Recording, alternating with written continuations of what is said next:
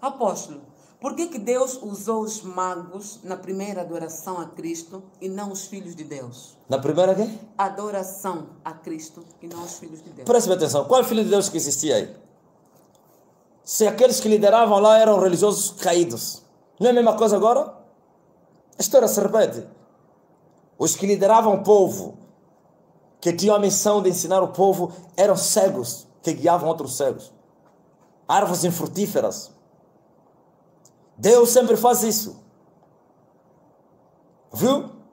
E assim, lembrem-se do, do, do, profeta, ou então do adivinhador, o corrupto, o rebelde, o que, glória a Deus, foi atrás das recompensas. Deus usou quem para lhe repreender? Não, não usa a jumenta? E a loucura do profeta, glória a Deus, caiu por terra através da voz, ah, jumenta falando com a voz humana. Ele faz o que ele quiser. Ele usou os feiticeiros para vir despertar o povo dorminhoco, o povo que estava no sono, mas ainda assim continuava no seu sono. É para Deus, ele, ele trabalha de várias maneiras para conseguir convencer os seres humanos, você não sabia? De várias maneiras.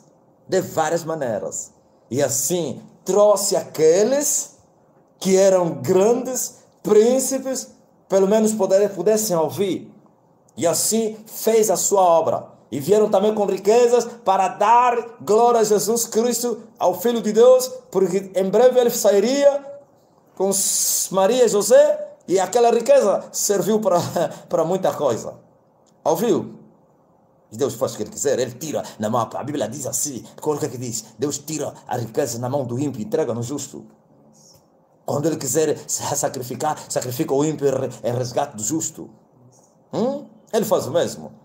E assim os trouxe e vieram. Sim, para ele está mostrar que ele pode todas as coisas. Ele manda na terra, no céu, não tem oposição. Você está pensando que o homem, aleluia, pode alguma coisa por si mesmo? Deus lhe manda, manda o feiticeiro e ele vem trazer mal de dinheiro a mim para eu pregar o evangelho.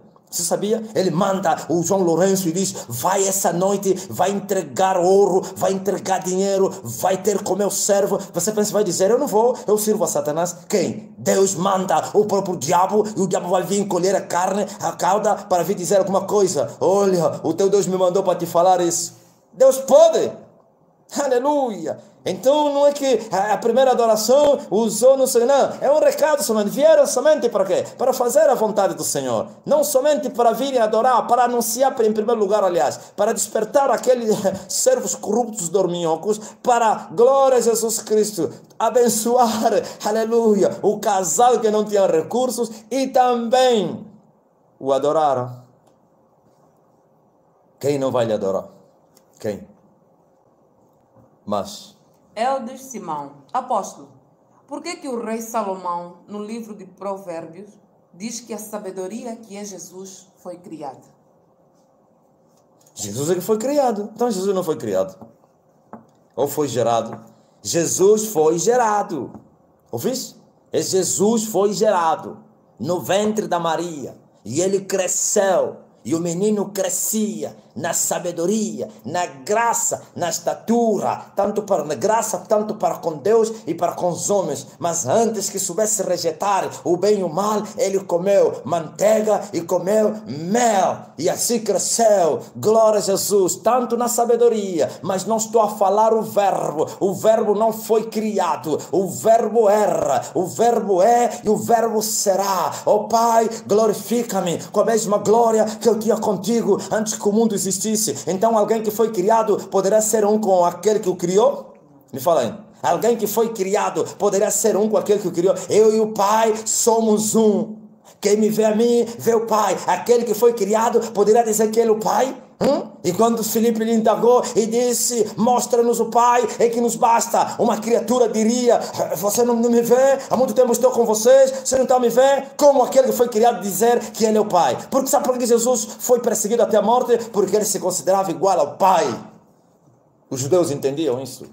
E ele dizia, olha o que ele dizia: sendo homem, se faz igual ao Pai, se faz a si mesmo Deus. Jesus é Deus, pois está escrito: o Verbo estava com Deus e o Verbo era Deus, e todas as coisas foram criadas por Ele, e nada existe na terra e no céu que não foi criado por Ele. Ele é um Zambiamunene, é o Deus Todo-Poderoso, eu, eu sou que esteve na sarça com Moisés e veio acrescentar: eu sou, eu sou a ressurreição e a vida. Se vocês não crerem que eu sou, vocês vão morrer nos vossos pecados, e o Pai o glorificou. Sim, por causa da paixão da morte, ele se diminuiu e se fez homem, semelhante aos homens, e morreu, morte na cruz, para ser humilhado, para resgatar você. Mas no princípio, ele não era aquele Jesus, mas era o Verbo. Sim, Glória a Jesus, foi feito um pouco menor do que os anjos por causa da paixão da morte, mas de honra e glória o Pai o coroou. Ele foi escolhido na divindade para se manifestar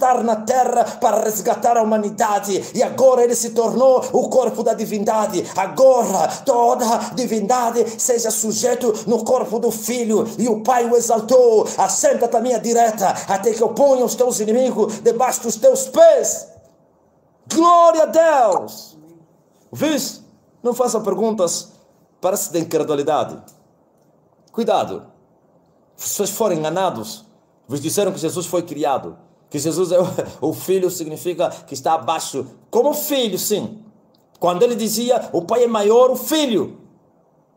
Porque ele mesmo sendo achado na forma de Deus, não usurpou a ser igual a Deus, mas aniquilou-se a si mesmo, tomando a forma de homem até a morte e morte de cruz. Agora que ele ressuscitou, foi exaltado soberanamente, porque ele disse: Glorifica-me com a mesma glória que eu tinha contigo antes que o mundo existisse. E o Pai o glorificou e o exaltou e lhe deu o nome que está acima de todos os nomes, para que no nome dele todo joelho se dobra e toda língua confesse que ele é o Senhor.